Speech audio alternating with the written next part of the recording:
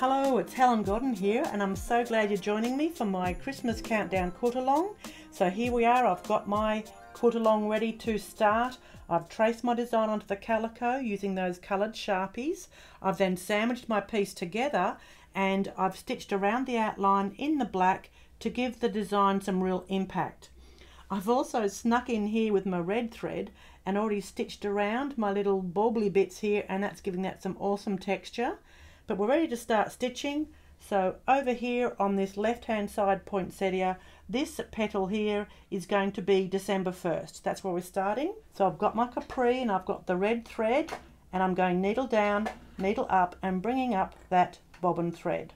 What you might notice here is I've got the micro foot, which is a wonderful foot that looks like I've chopped the front off it.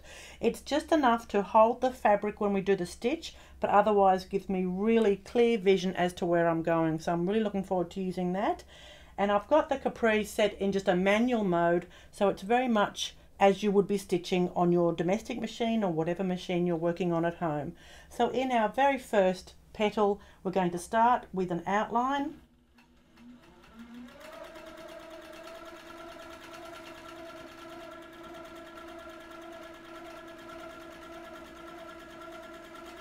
and we're going to do a simple arc from side to side to try and give that petal a curved shape.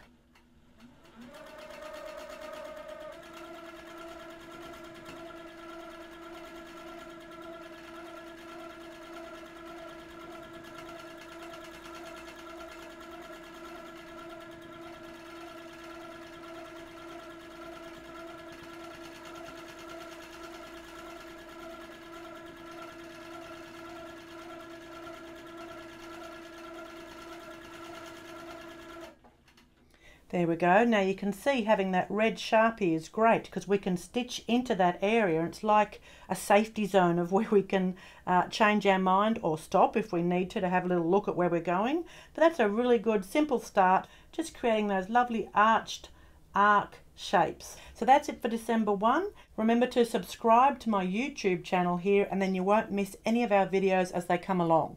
If you do miss a day, don't panic. They'll be here for you to catch up whenever you're ready. So I'll see you tomorrow for December 2 in our Christmas Countdown Quilt-a-long 2020. Yay! Bye bye!